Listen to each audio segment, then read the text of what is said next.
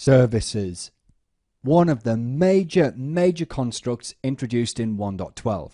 And they're all about simplifying and, I don't know, robustifying large scale production deployments. And yeah, I probably just made up the word robustify. But, like we said in the theory intro module, services are all about uh, declarativeness. Good grief, I'm making up words like crazy here. But also the concepts of desired state an actual state, with a form of reconciliation process running in the background, doing all the heavy lifting in the background required to make sure that actual matches desired. Anyway, we manage services with a new subcommand. And you know what? I'm sick of PowerPoint, so let's just dive in. So I go docker service create. I'm going to name it psite1 just because Pluralsight 1's a bit hard to type. I'm going to map port 8080 across the entire swarm to 8080 inside of the service. Now, more on this in just a second. Before that, I'm going to say here, let's have five tasks in the service. Replicas, tasks, containers, same thing, yeah? We'll be having five, thanks. And I'm going to deploy this image as the app or the service. Hmm, bit of a long name. Well, let's see. Okay, looks good but we can check with the new Docker service ls. Okay, there's our service psite1 and 5 out of 5 of the tasks are already running. Now I know that was insanely quick. The reason for that is because I've ran this earlier in testing, so I already had the image downloaded on every node. If you're doing this for the first time, well, it's going to take as long as it takes to pull your image from Docker Hub or wherever your image is stored. Well, if we dig a bit deeper with Docker service PS and then our service name, ah, let's make it a bit smaller, sorry. Okay, well, if you've got superhero vision, maybe you can see that all five tasks, replicas, containers, call them whatever you want, right? No matter. They're all up and running. So let's just step through the output. Every task or container gets its own unique ID. Then, fortunately, it also gets a friendlier name, which is basically the name of the service that it belongs to, and then it gets a task number added to the end. So, service name dot task number, or I sometimes hear people call it slot number. Well, then we see an image name. All tasks in a service use the same image. I guess unless you're doing a rolling update or something, which we're going to see shortly.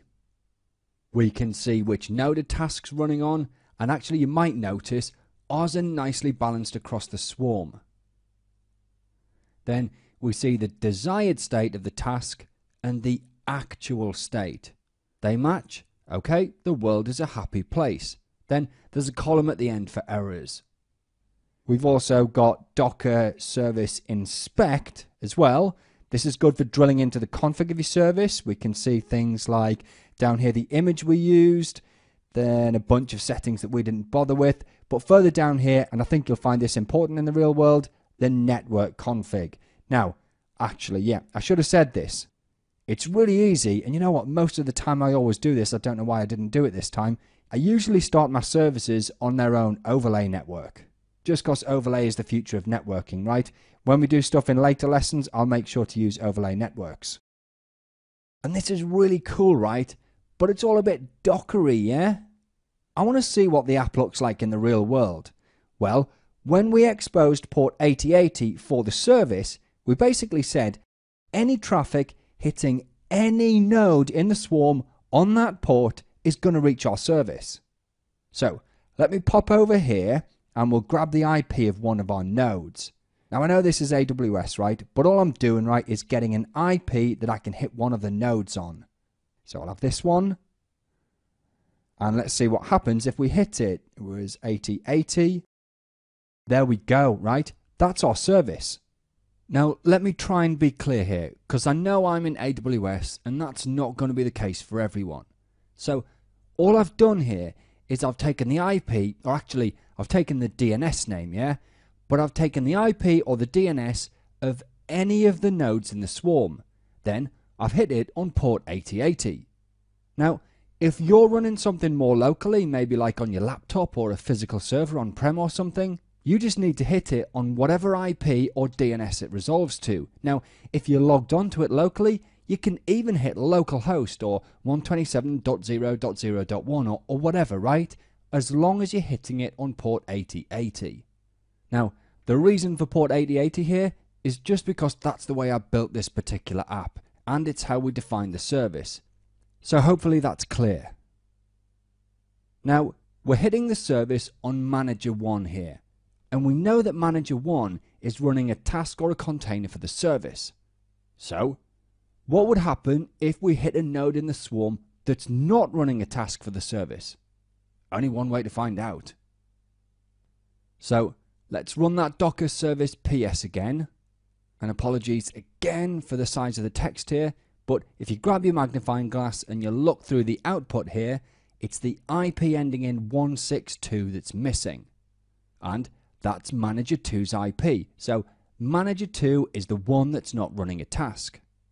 So if we come back here and we grab its DNS name, again remember, if you're not in AWS, just grab whatever IP or DNS you used earlier, and if you're logged on locally with a browser, just hit it up on localhost or something. But if we open up a new tab and we whack that in with port 8080, same result, we still hit our app. Now this is despite the fact, and let me be really, really clear here, despite the fact that we just hit the one and only node in the swarm that does not have a container running for the service. So we literally can hit any node in the swarm and we'll always get to our service. Now then, and man, would I love to get more into this here, but it's beyond a getting started course. But you know what? Behind the scenes, there is some great network magic going on, making sure that you can expose a port for a service across the entire swarm. Then, as we saw a second ago, anytime you hit any node in the swarm on that port, you're going to get your service. But as well as that, you're going to get your traffic load balanced across all of the tasks that form the service. So, let that sink in, right? A fully container aware load balancer that Docker are calling the routing mesh or the routing mesh. And you can totally mix it with your traditional load balancer. Like, so I'm an AWS, right? So maybe I'd use the classic form of an elastic load balancer. But whatever environment you're in, if you've got existing load balancers, you can still have them in the mix.